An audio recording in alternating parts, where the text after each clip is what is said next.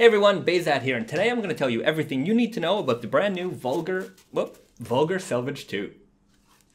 So, the history of the Vulgar Selvedge actually goes back to basically the start of Naked and Famous Denim. When we first started, we had a jean called the Logo Selvage, and now this jean, it never came out. It was, uh, it actually came out as the Deep Indigo Rigid Selvage, except the original version had the words Naked and Famous Denim along the selvage edge, along the selvage ID. So when we were developing the fall winter 17 collection, I was going through our archive and I, I, you know, I picked up this jean and I thought, you know, this could be really cool. You know, we, we should do something with this. And, you know, being a fan of comedy and a fan of George Carlin, I, I thought, you know, he, he had a bit called the, the seven words you can't say on television. And I thought, you know, maybe we could do something with that. And uh, well, we didn't use seven words or the seven words that uh, you can't say on television. We did use the words shit, bitch, ass, and fuck. And that was all along the Selvage ID. And I remember going back to uh, trade shows, you know, when, when we had trade shows, you know, we were in Paris and New York and Berlin and uh, uh, Vegas and, uh, you know, all the other cities in between. And I, we would show these jeans to, to buyers and, you know, the, their eyes would light up. And I, I was like, okay, I think we're onto something. And then I teased the images on Instagram and everyone's comments went crazy. And I'm like, okay, pretty sure we've got something here. And then when it finally released, you know, these jeans, they sold out you know, it was, it was a very fast selling jean. A lot of people were looking for these. And, and over the years, since, since the time they released until now, it's just been one of those jeans that constantly pops up online with really, really incredible fading uh, results. In fact, some of the best fading results I've ever seen of a naked famous jean is from a, a pair of vulgars. And, you know, people would see those photos or they discover our brand, you know, kind of later on and they, they discover this jean and I get messages all the time saying, when are you going to re release these? When are these going to come out again? Where can I find a pair? So for Fall Winter 20, we finally decided to bring these out again.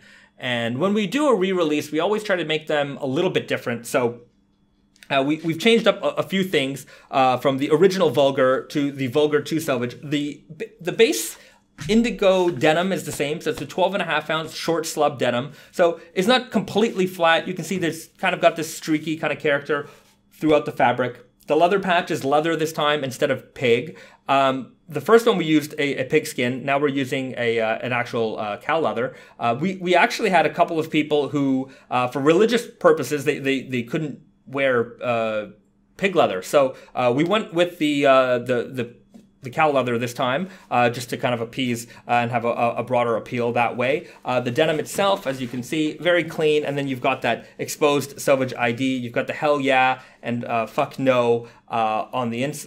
you know, it, this will vary from from pair to pair. Um, but on the uh, selvage ID, this is actually the sample, so this is not the same as the final production.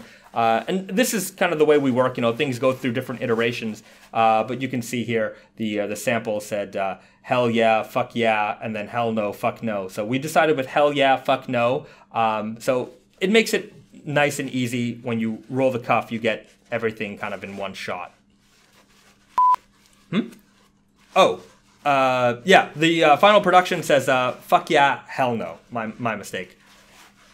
What makes the Vulgar Selvedge 2 special is, you know, believe it or not, it's it's simplicity. So, you know, we are known for making a lot of wild jeans, and sometimes, as much as you can appreciate that, it's not for everybody. Some people prefer to have a nice, clean, crisp, dark pair of classic jeans, but they still want to express themselves a little bit. So I think by having the Selvage ID be where all the detail is at, not all the detail, I mean, it, it is still a very beautiful denim after all. But having that extra, that extra right here in the Selvage ID, you know, you can roll the cuff and have a really, really big cuff and, and, you know, be loud with it. Or you can have a small cuff and just kind of have it a little bit. And, you know, somebody might see that out of the corner of their eye and, uh, you know, you might get a little smile or reaction out of them. So that's what I think is really special about this jeans is that without being too extra, they still allow you to express yourself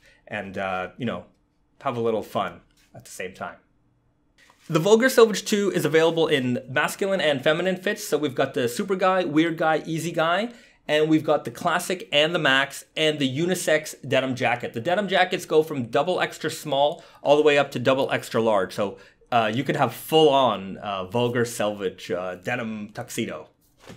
Well, uh, I think that's everything you need to know about the Vulgar Selvedge 2. I hope you appreciate this new kind of video. I think story time might be a little bit more fun. It's a little bit more natural for me uh, to speak this way. And if you have any thoughts or comments about the Vulgar Selvedge 2, leave them in the comment section below. If you want to get a pair, I have a link to the blog post where you have a, a full list of retailer availability. You definitely want to get these because they won't last very long. Um, you know, just like the Vulgar Selvedge one, these are I'm I'm pretty confident these are going to be gone uh, in not uh, not a lot of time. So uh, it sounds like I'm rambling, and I'm going to wrap the video up there. So I'll see you guys in the next one, and uh, have a have a nice day.